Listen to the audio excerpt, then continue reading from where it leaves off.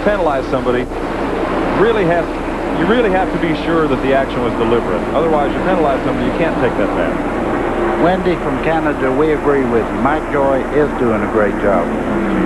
How about that? That's his cousin in Canada. I don't have any. I don't know. I don't have Up. Yellow flags out. We have a caution. Mike Waltrip has gone into the wall at turn number one. And there's a car up against the wall in four. They seems well. to come Jimmy in pairs. Horton. Air Horton. Seems to come in pairs, doesn't it? Boy, oh boy. That boy's had a hard time this year, I'm telling you. So Mike Waltrip brings out the caution in one, and almost simultaneously, Jimmy Horton got up against the wall in turn four, which prompts this question from Terry in Indiana. Has there been a race where there were more laps under caution than green? In 1952, Herb Thomas won a Winston Cup race at Wilson, North Carolina, and averaged 35 miles an hour. So you would guess they probably had more cautions than green laps that day. Records don't go back to 52 to indicate how many yellow laps there were. That took care of the mandatory caution right there. They won't have one now, I'm almost positive. The thing that concerned me, they were talking about doing it 454. They didn't make it to this point. You know, they didn't split it halfway. We lost one before we got here.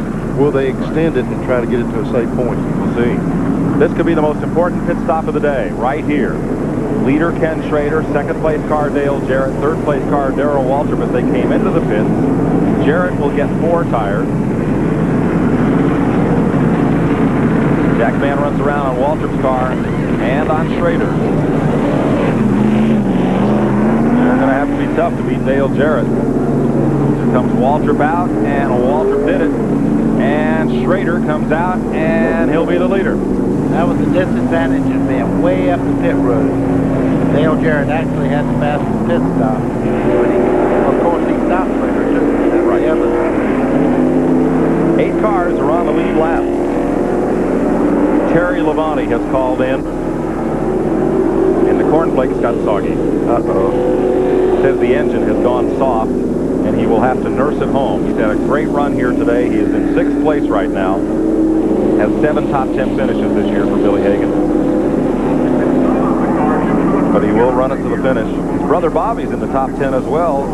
He has four top ten finishes in his rookie season. And Bobby right now is posted on the lead lap, one of those top eight. We'll go down to Randy Pemberton.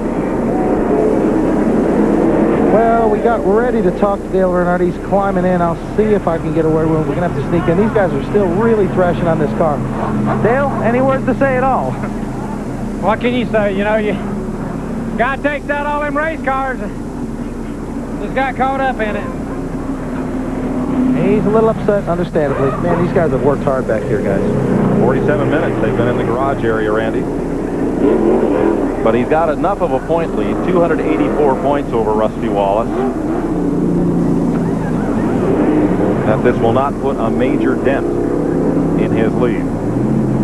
Jeff Purvis, Greg Sacks. Schrader's the leader. Jarrett is second, Waltrip third. Spencer fourth, Wallace is fifth. Sixth, Terry Labonte. Seventh, Harry Gant. Eighth, Bobby Labonte. Ninth is Morgan Shepherd. And tenth is Sterling Marlin. 53 laps from declaring a winner at Dover Downs. We'll be right back.